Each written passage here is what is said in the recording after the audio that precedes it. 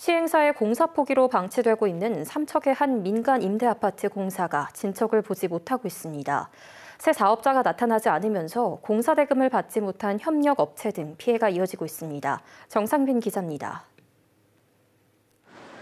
삼척의 한 민간 임대 아파트 공사 현장입니다. 시행사가 자재값 상승 등을 이유로 사업을 포기하면서 지난해 8월부터 공사가 중단됐습니다. 최고 높이 20층, 205 세대 규모 아파트는 도심의 흉물로 남겨졌습니다.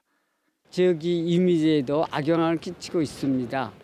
그리고 지역 업체의 피해도 있고 지역 경제에도 도움이 전혀 안 되고 있습니다. 공사 중단이 길어지면서 아파트 공사에 참여한 협력 업체들도 고통을 호소합니다.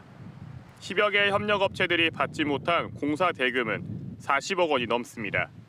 뭐 밤에는 어쩔 때는 막 눈물이 그냥 가만히 앉아서 나 이런 생각을 하고 있으면 왜 이렇게 사는가 할 정도로 새 사업자를 구하기 위한 공매가 앞서 두 차례 진행됐지만 소득은 없었습니다. 주택도시보증공사는 다음 달 10일까지 공개 입찰을 신청하는 사업자가 없는 경우 수의 계약을 진행할 방침입니다. 향후 공매를 통한 사업자 선정이 안 될 경우 직전 최저 가격 이상으로 수의 계약을 통한 매각을 검토할 예정입니다. 공사를 이어갈 건실한 사업자를 지역 사회가 기대하고 있지만 자재값 상승과 고금리 속에 얼어붙은 건설 경기는 여전히 부담이 될 전망입니다. KBS 뉴스 정상빈입니다.